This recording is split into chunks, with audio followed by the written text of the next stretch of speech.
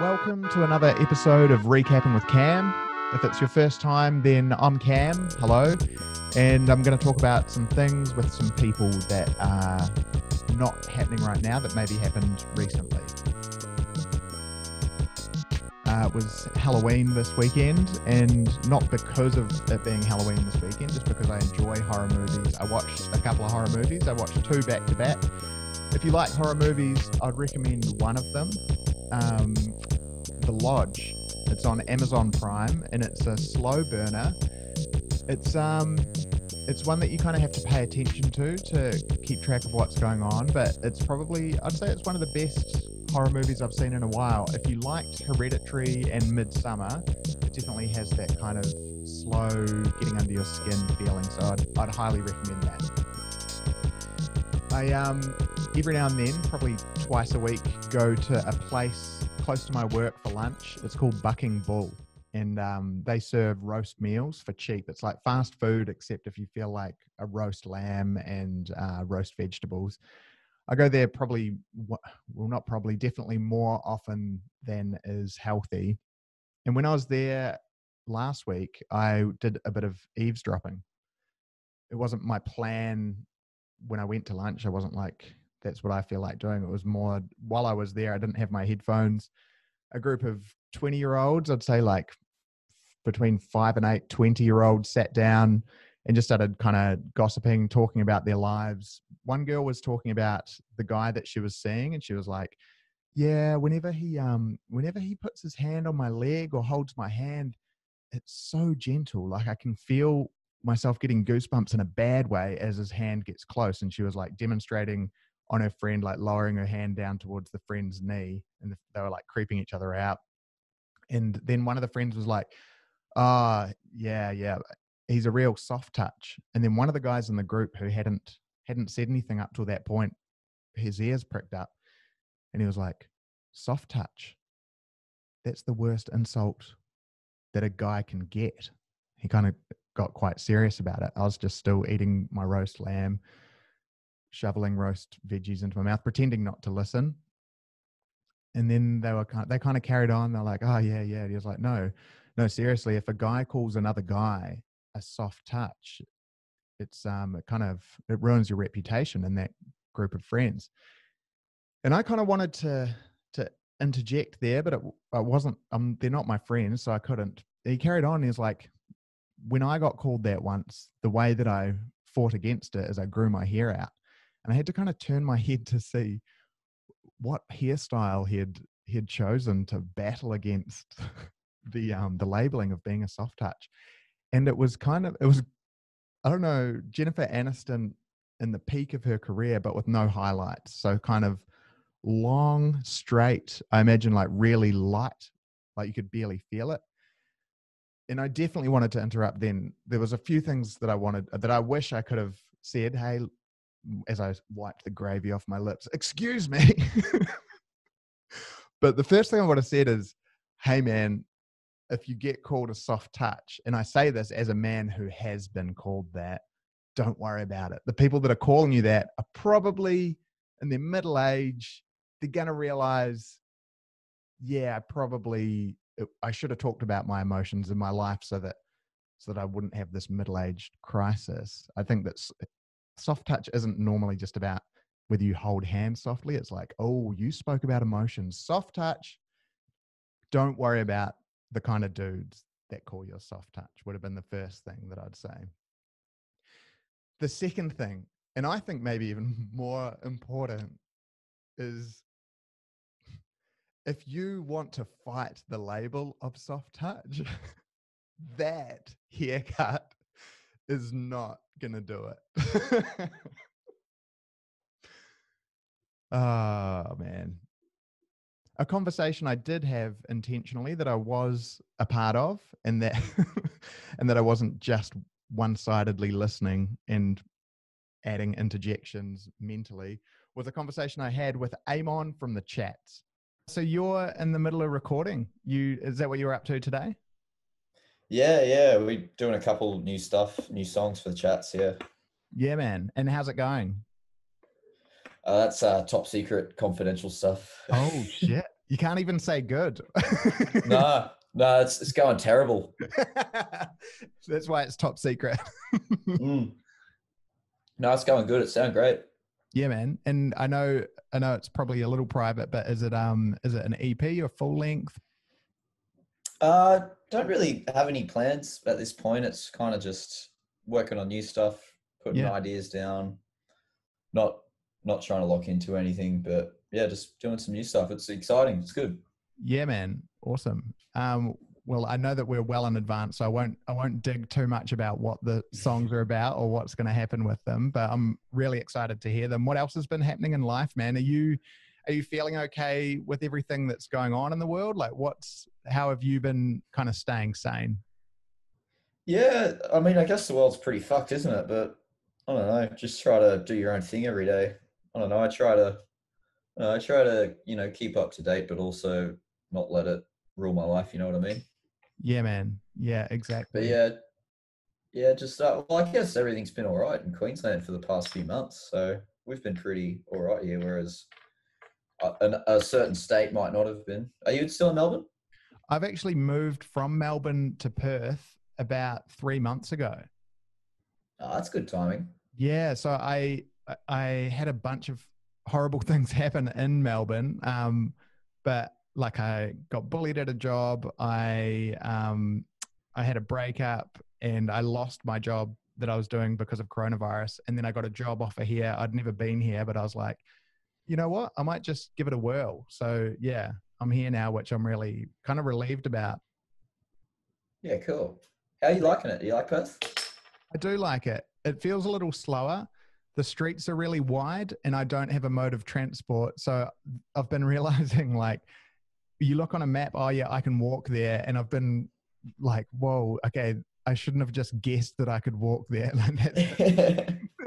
I think like that that's such a bad review of Perth. Like anyone in Perth who listens to that will be like, is that really what you've taken away from your, your Three months, and that's what you get. yeah. Yeah, Well, really. walking's pretty hard. Yeah, yeah, that's my review of WA. I play in a band called Charging Stallion. I do a podcast with a dude in that band, and that that is the hardest thing about being away from Melbourne, not being able to be like with Timmy and the other people that I create things with. But now that I'm doing stuff again, we're going to carry on with the podcast from here. Um, we just recorded an EP ourselves just before I left, so that's going to be mixed and mastered, and we're still going to carry on as best we can with that project. And then I'm trying to trying out other stuff like this as well. Great, man. I I'll say on that subject, I gotta ask: Is that um euphoric Queensland song? Is that written about a specific part of Queensland or just the whole state?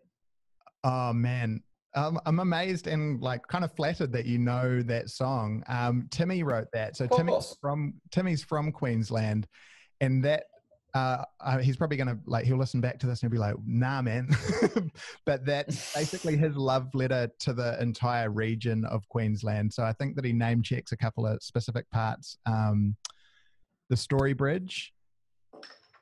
Do you, Mm. are you aware of the Story Bridge? Yeah, I live like ten minutes from there. I I just thought there might be some cool backstory, like oh, we were sitting in an old Queenslander in Toowoomba or something. I don't know. Timmy basically is that old Queenslander. So he grew up in Brisbane. I'm not sure. I don't know exactly what part, but that's his that's his neighborhood. So like all of those spots that he's naming is like where he where he grew up. But when he brought that song to band practice, I um I was like, I've never been there, bro. I feel a little bit I feel a little bit weird singing it, but yeah, let's do this. Yeah. Yeah, man. Well, I guess that, I guess that makes it all the better when you finally get there. It's like, oh, I get what he's talking about. Yeah, exactly. Do you, what's your favorite part of Queensland? Do you have a spot that like when you go to you feel like, oh yeah, this is like full of memories or like this is a big part of my growing up? Yeah, well, I grew up in Mackay, which is not like North Queensland, but it's probably about halfway up north. Yep. Like halfway in the, in the middle, but it's central Queensland and it's just like a mining town. It's definitely not my favorite part, but it's very nostalgic, you know, going there for Christmas or whatever. But uh, I don't know, maybe I got to say my favorite part, Queensland, is probably I really like Cairns. Cairns Mhm. rules. Yep. Just yeah, lots of Cairns. fun memories there, mates that lived there, or you just went there as like a blow off some steam only- area. I've only been there a couple times, but it's just always really nice. I don't know. Maybe I've just been there on like the two nicest times that it's ever been. Might be shit every other day, but yeah, man. Cairns locals are like, wow. yeah. yeah, bro. I think that um, was that childhood memories. yeah, yeah. I went there once as a kid, and then Mm-hmm. once with the band a couple of years ago.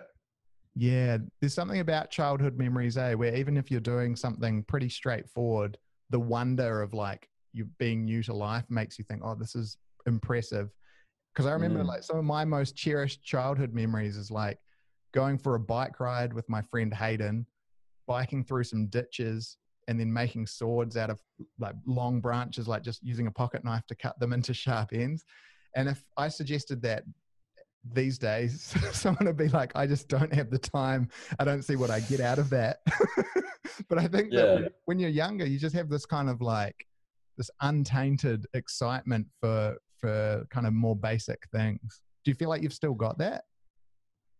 Yeah, yeah. I think in in some ways, definitely. I tried. I try to um, try to be in touch with my child self as much as possible. Yeah, man. So I feel like you know, you, you ask the the best questions as a kid. You know, you want to learn the you know most the least obvious things about the world. You know. Yeah, man. That's awesome. So you feel like you're still able to be absorbing things and learning things. Yeah, and yeah, I've always kind of been a big kid anyway. But yeah. Yeah, man. No, I love yeah. that. What do you feel like you've been kind of learning, or what's something that you've been excited to learn more about recently? I think just about like people and you know like having conversations and you know being in social settings and stuff. You know, it's something I never ever thought about, and then like growing up a bit, you kind of like you know know you know just better at like making conversations and stuff. You know, something I was never really good at, but I Yeah, think man. now you definitely learn some things that can't really be taught. You know, Yeah, absolutely. And I think the just more people often- skills, I guess. Yeah, I get that. The more often you're putting yourself in that situation where you need to stretch or you need to grow to adapt to it, the better you do get at it. It's the same as any skill, really. Yeah, yeah, totally. Like any hobby. Something new in my life is uh, I got a cat about eight months ago. Its name's Little Buddy. And I never thought that I'd be a cat person, but a cat kind of turned me into a cat person. I used to be a dog person, and um, my friend's cat is called Kittles. And this cat had a real puppy like um, nature to it. And it kind of switched me. I never thought that I'd have that kind of change. It feels like something you kind of lock into as a young person, but I switched from being a dog person to being a cat person in the last few years. And I'm loving having a cat these days. Sick. Uh, Mr. Buddy was all right to come to WA with you. I think that she was kind of hating. She would have hated the flight. Like when she got out of the crate thing, she was like, she doesn't. She's not a very talkative cat, but she was talking a lot. Mm. Like, and you can tell it was like, "Where were you?" type sort of like she was. It was not happy noises. But yeah, Yeah. um, it's nice to have her. Nice to have her here. You got any animals of your own? Any pets? No, no. The only pet I ever had was um, I had a goldfish when I was like five, and the day I got it, it died the next day. Brutal. So I kind of just went, yeah. I was like, oh, I'm done with pets now. Did you have But, a yeah, but yeah, Sparky. Sparky? Damn, Sparky! Yeah, I Didn't know the pain that it was going to cause you. Twenty four hours. yeah. I, I know. It was like it was not even 24 hours. Like I got it the afternoon, next morning, gone. I was like, fuck, that's so-" yeah. I was kind of just like, oh, that's it for me. But funny you mentioned a cat. We had a uh, we had a housemate just over a year ago who got a cat, and she wasn't really taking care of it as much as I was, and so the cat would kind of sleep with me and hang out with me a lot. Mm. She- you know, she wouldn't change the litter box and stuff, so the cat would have to find places to shit, obviously. Yeah. And once it just took this like steaming, like massive, like dirty diarrhea shit, like down the curtain. Like Oh. so it was like drip it was like dripping down. I kind of went in there, I was like, hey, um, you know, cat's cat's done a big old shit. Can you um you know, can you clean that up? She's like, oh, it's gross. Hey, like just walking away. That's disgusting. eh?" Does not Yeah, so I- have a cat. Yeah, yeah, but it was a great cat, but it was just that that kind of made me go, oh man, like like even though it wasn't my cat, it kind of felt like me and Macy, my girlfriend's cat, like we were taking care of it a lot. But I was kind of like, man, I'd definitely, I don't know, I'm just not old enough to have a pet. yeah, man. I can ba- I can barely wipe my own ass, man. yeah, bro. what else is going on? What else feels new in life? Like you're you're in a great position. You're in a, a well deserved situation right now. I feel like it must be a really exciting situation to be able to do what you love and have audiences interested in seeing you perform that. And I'm so happy for you, man. What what is next for you? Like what what do you do from there, I guess? Well, well, with all the touring stuff going down, I've kind of just been making the most of not being on the road and you know just hanging out with Macy, my girlfriend, and doing mm. like normal people stuff, like mowing the lawn, and you know like going to the shops. You know, it's been it's been really cool. Like not waking up at like three in the arvo every day and playing. You know, it's it's like a different because last year we were we were going pretty hard. We were away for we were away for eight months of the year and home for four of them. And roughly how so many was, gigs did you play in that eight months? Oh, I don't know. I, I reckon it'd be like hundred and something. Yeah. Yeah. But it was yeah, it's a lot. And but it's just been great, like being at home and not having to be jetting around and always exhausted and stuff. It's I don't know, I, I sound like I'm complaining, but it's it's really cool, like, you know, doing the band stuff, but it's also nice just to like chill out for a bit and let yourself recharge. I think it's really important to have both. Totally. Yeah, man, that's awesome. What are you watching? Yeah. What are you absorbing to recharge?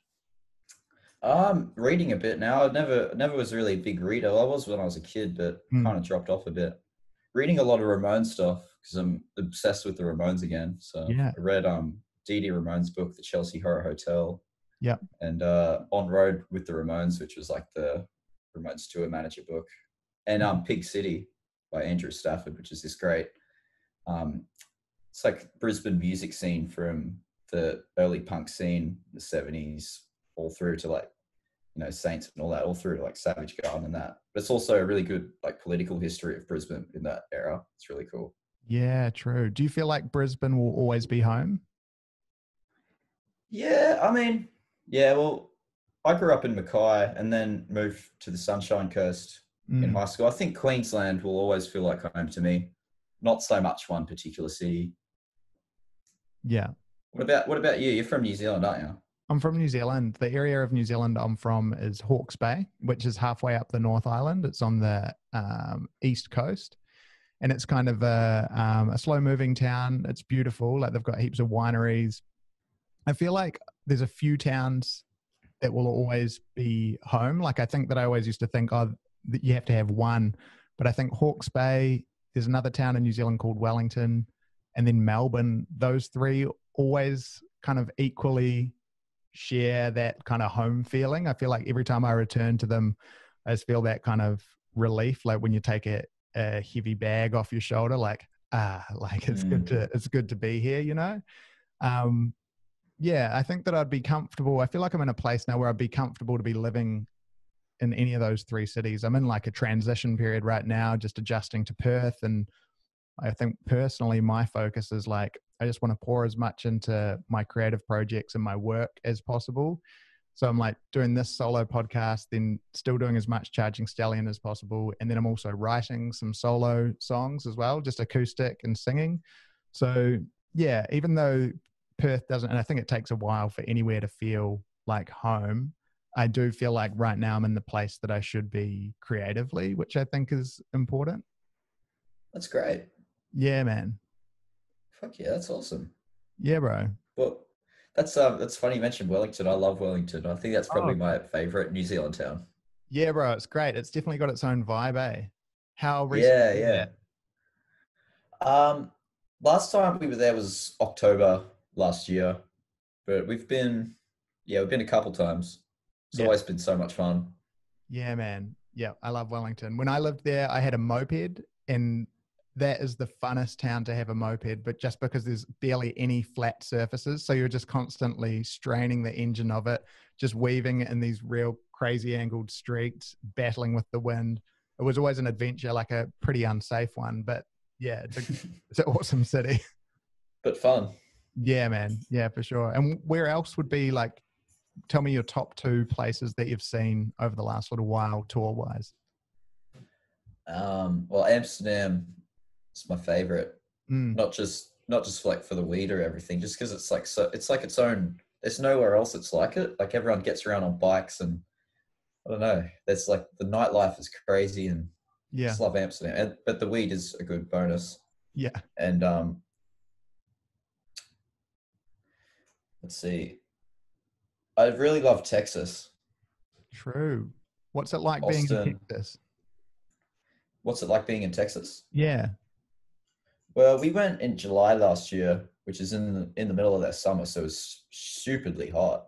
Mm, It was like, you know, like Mount Isa kind of hot, real, real bad. And um, but it's really cool. You know, we were 20, so we couldn't really go out to many bars or anything, yeah. but but everyone was super nice to us, and you know, most most venues gave us beer, and it was a good time.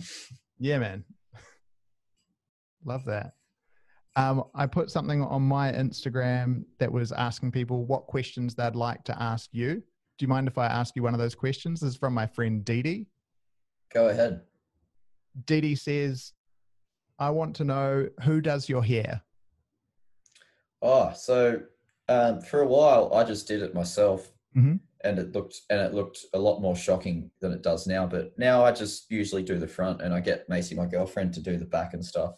Yeah. sometimes mum, sometimes mum to do the back. Yeah. Usually no, Macy. Yeah. Awesome.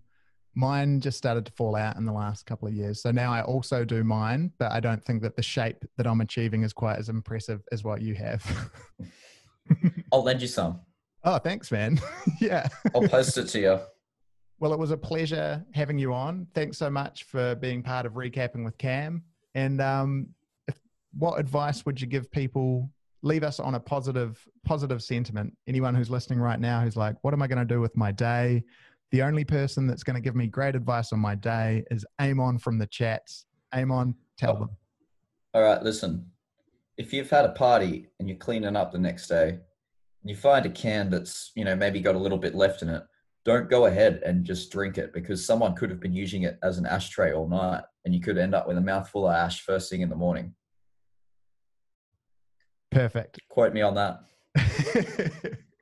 Love it. Thank you so much for your time, Eamon. Have a great week. Thanks heaps for having me. No worries, man. Take care. Have a good one, dude. Thank you for listening to another episode of Recapping with Cam. If there's anybody that you'd like me to speak to on the show, let me know on Instagram uh, at camreed.normalday. I have a website now where I try to put all the short films or uh, comedy videos that I've made. It's heyitscam.com. And if you want to just come on the show and have a conversation, it has to be about things that have. Oh, nah, I'd make an exception. If you're somewhere interesting and you want to recap an event or a moment as it's happening, then let me know and I'll consider it. Whatever you're doing this week, be safe. Take care.